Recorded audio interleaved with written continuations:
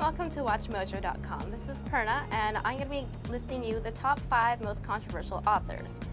Now, I made this list according to not only how much controversy was around the novels that these authors released, but also how much controversy surrounded the authors themselves and their lives how much threats were put onto their lives or how much people hated them and such. So number five on my list is John Steinbeck. He was very interested in politics and his political views can be seen clearly in his books. Now one of his most, most popular novels is The Grapes of Wrath.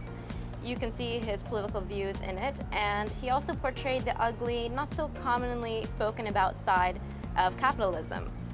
He also put in a fictitious reinterpretation of the events that took place during the Dust Bowl migrations, which is basically a series of dust storms that took place in North America and eventually led to a major drought in the 1930s. When the population read this book, they were surprised, taken aback, and they didn't want to read his books anymore because they were insulted that he had changed around the events of true history, of things that had actually occurred.